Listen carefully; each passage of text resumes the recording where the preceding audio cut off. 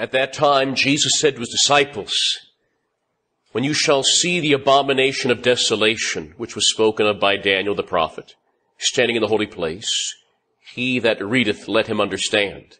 Then they that are in Judea, let them flee to the mountains. Those are words taken from St. Matthew's Holy Gospel. In the name of the Father and of the Son and of the Holy Ghost. Amen. Good, orthodox, solid teachers will be great preachers, especially in the last days. Those orthodox preachers who will preach from the pulpit will have divine power behind them, divine efficacy. Again, especially in the last days, which our dearest Lord speaks of in today's Holy Gospel.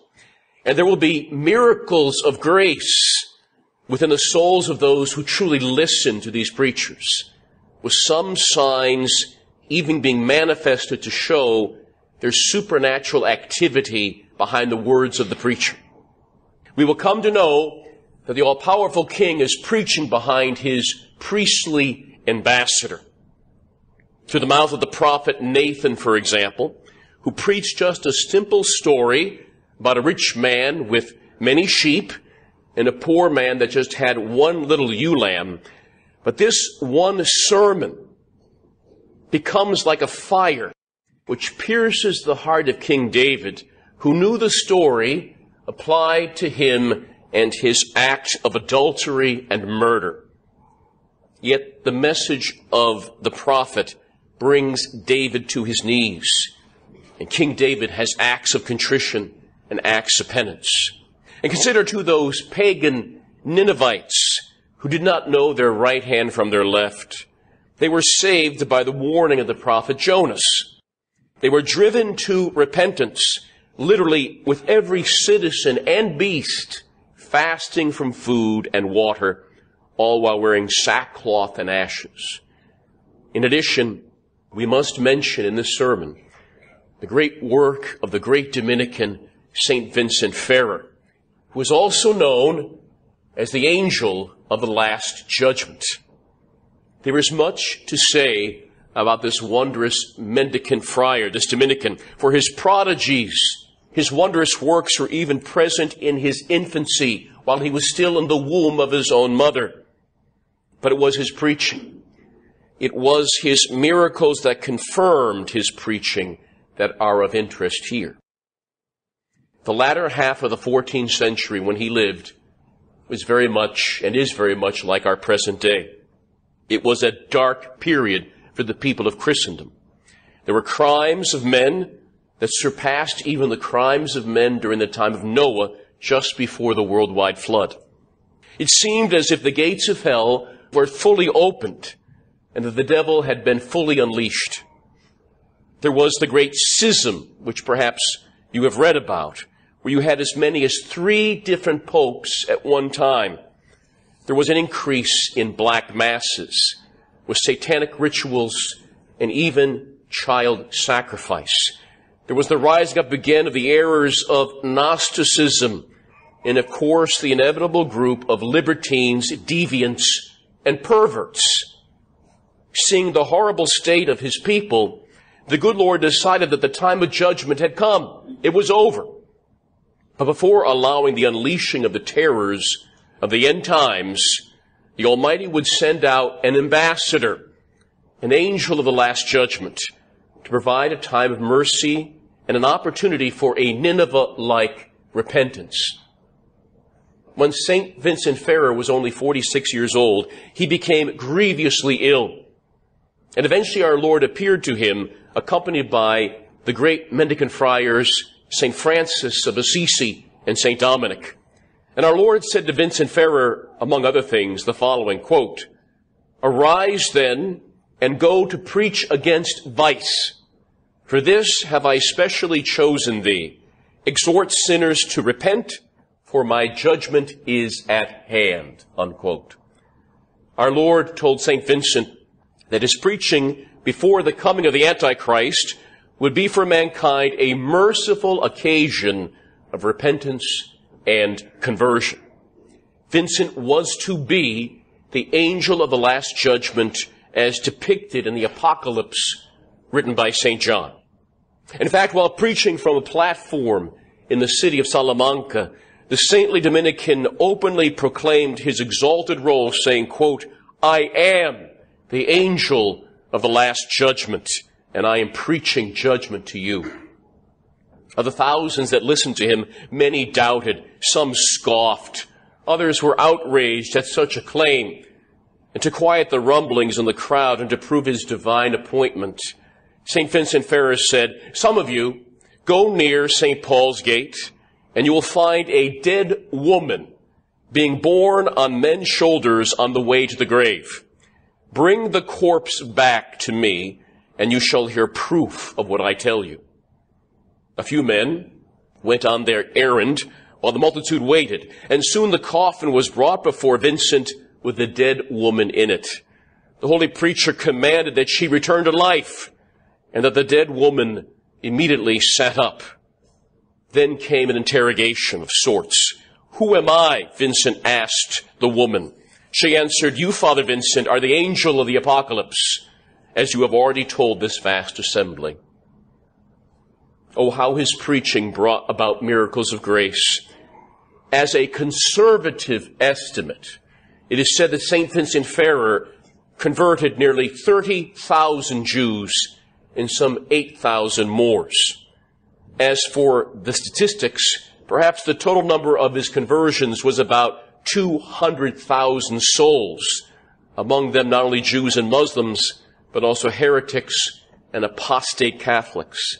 And an example of his power and his sermons, consider a case that happened in Toulouse, where he spoke on the passion of Christ in an open square for six hours without a break before a crowd of 30,000 people. When he cried out, Arise, ye dead, and come to judgment, the whole crowd fell on their faces and begged for God's mercy. And then there were the miracles. One particular miracle to confirm his preaching happened in this way. There was a rich Jew of Andalusia named Abraham who began to leave a church in anger when Vincent was preaching. The Jew did not like what he was hearing. As some people at the door tried to stop him from leaving, St. Vincent cried out, let him go. Come away, all of you, at once and leave the passage free. The people did as Vincent ordered, and at the instant the Jewish man left, part of the porch structure fell on him and crushed him to death. Then the saint rose from his chair and went to the body. He knelt there in prayer and eventually Abraham, the Jewish man, came back to life. And the first words out of his mouth, he said, the religion of the Jews is not the true faith. The true faith is that of the Christians. But there are so many signs and wonders of Vincent Ferrer. According to the Acta Sanctorum records, the Acts of the Saints, the official number of miracles equaled 873 official miracles confirmed by the church. Miracles became second nature to Vincent because the number of miracles goes well beyond the official count. He performed signs and wonders as if it were a habit with him. As part of his missions to various places, the ringing of the miracle bell announced the time for the sick and suffering to come forward for healing. Some say he performed on average eight miracles a day. And he may have performed approximately 60,000 miracles in his lifetime. As one observer wrote, it was a miracle when he did not perform a miracle. Authors who wrote about St. Vincent tell of 70 persons who were delivered from diabolical possession from St. Vincent Ferrer, while 30 persons were raised literally from the dead. And all this occurred to confirm his message of judgment and salvation, for he was the angel of the last judgment. Now, St. Vincent Ferrer is often pictured with not only a Dominican habit, but also sprouting wings. Multitudes of people witnessed him in the middle of his preaching suddenly assume wings and fly off to help some suffering person at the point of death. He would then return the same matter, flying back, and continue preaching. Preach conversion and penance. But some might object, saying that St. Vincent Ferrer identified himself as the angel of judgment and preached as if the end of the world were near, then why didn't the last day arrive at his watch? Some might even say that since the world did not end, Vincent, at least in that respect, failed as a prophet. But this would be a false conclusion. It is true that some prophecies are absolute and bound to happen. But other prophecies or predictions by individuals can be contingent based upon reform and penance. Through Vincent's thunderous words and the results of his preaching, the end of the world was simply delayed. Again, we consider the Ninevites who were told by Jonah that in 40 days God told him their city was going to be completely destroyed. But such a prophecy was contingent, dependent upon the response of the citizens because they listened to the preaching of Jonah and did penance because they changed, not God. The conditional prophecy was not carried through. Heaven's message over the last two centuries has been very consistent. Our Lady has openly stated on more than one occasion that she can no longer hold back the hand of her divine Son. A judgment is coming upon the human race. Yet there are few angels of judgment challenging men to do penance and to make reparation. For decades now in the church, we have been told that things are, have never been better in this modern age of renewal. With a Kennedy-like naive optimism, we believe that all humanity's ills could be solved.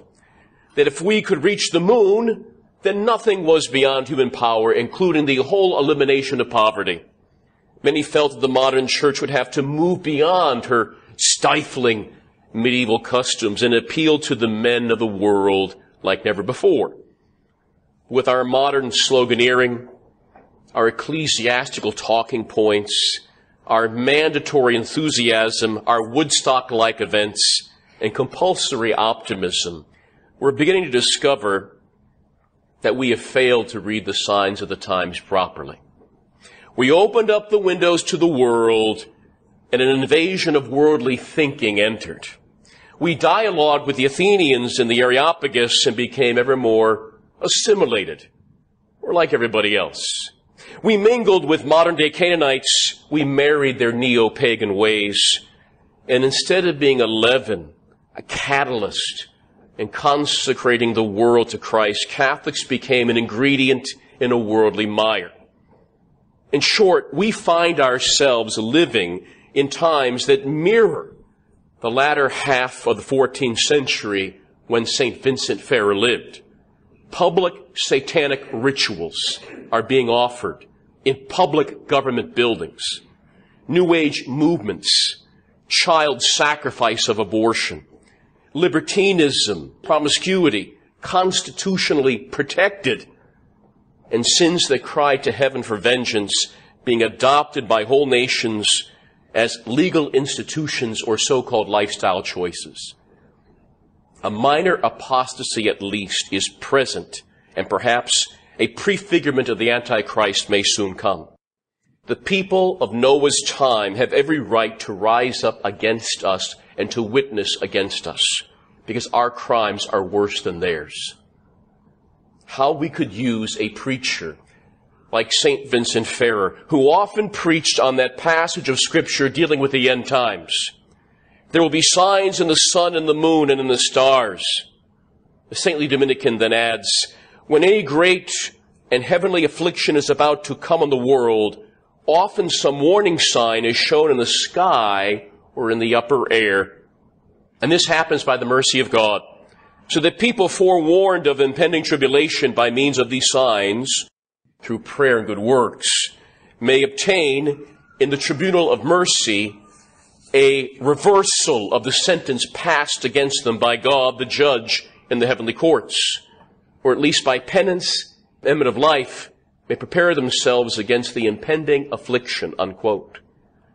Vincent then went on to speak of the waning moon in the night sky, which represented those areas on the map which would not preserve the Catholic faith, but would rather fall away from the faith. And as a final example of his preaching, the zealous friar speaks of the moon and the falling stars connected with the old heavens as representing the present church, which was no longer in the state in which Christ founded it. As the ambassador of Christ the Savior, appointed by the Pope as a universal missionary, St. Vincent cried out, Christ founded the church in great lowliness and poverty. Now all this is turned round to pride, pomp, and vanity, as may be easily seen in every rank of the church. Mercy and liberality are changed into usury and violence. Chastity becomes licentiousness. Uncleanness becomes corruption. The brightness of virtue is changed into envy and malignity. Temperance has become gluttony. Patience has given way to anger, war, and divisions amongst people. Diligence is superseded by negligence. He then ends by stating that the moon of the church will experience a lunar eclipse, almost as if she had completely disappeared. The time of the passion of the church is near. In fact, we are already at a mystical Calvary. In the name of the Father and of the Son and of the Holy Ghost. Amen.